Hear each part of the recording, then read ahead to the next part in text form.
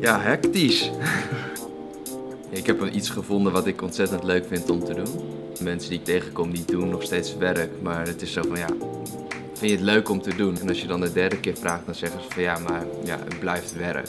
Dan is er gewoon ruimte om te laten zien wat er dus is. Ik heb een ontwerp gemaakt, alleen het ontwerp lag niet in lijn met de website hoe die destijds was. Ga je dan voor Wofox Jobs een compleet nieuw ontwerp maken en laat je dan Wofox, laat je dat dan zoals het was?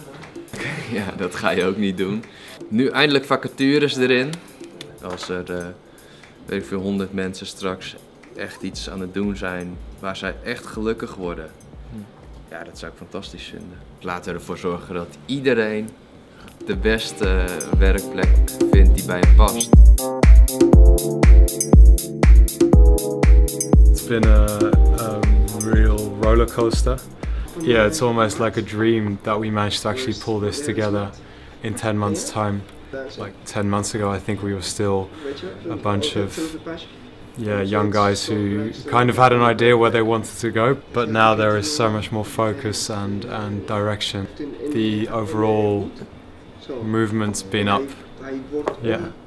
And I think generally our main focus now is to um, get as many workplaces and job openings on the site as possible and chill out this weekend.